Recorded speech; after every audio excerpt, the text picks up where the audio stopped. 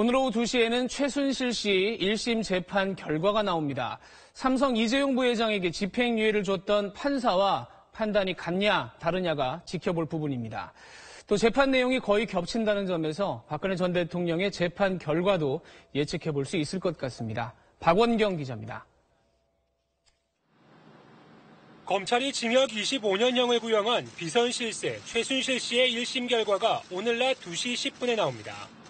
최 씨는 특정범죄 가중처벌법상의 뇌물, 직권남용과 범죄 수익 은닉 등 18개 혐의를 받고 있습니다.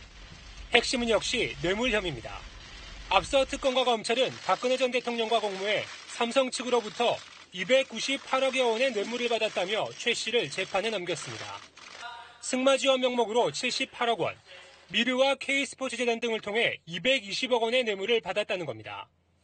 지난주 이재용 부회장 항소심에선 삼성이 미르재단 등에 낸 돈은 뇌물로 인정되지 않았고 승마 지원 금액 36억 원만 뇌물로 인정됐습니다. 결국 안종범 전 수석 수첩의 증거 능력이 인정되느냐 여부가 쟁점이 될 전망입니다. 이 부회장 항소심은 안 전 수석의 수첩의 증거 능력을 인정하지 않았지만 최순실 씨 재판부는 앞선 장시우, 차은택 재판에서 증거 능력을 인정했습니다. 또 대기업의 압력을 넣어 미르와 K스포츠 재단에 774억 원을 출연하게 한 직권남용과 강요 혐의도 인정될지 주목됩니다. 최 씨의 혐의 대부분이 박근혜 전 대통령과 겹치는 만큼 오늘 최 씨에 대한 선고 결과가 박 전 대통령 재판의 가늠자가 될 것으로 보입니다. SBS 박원경입니다.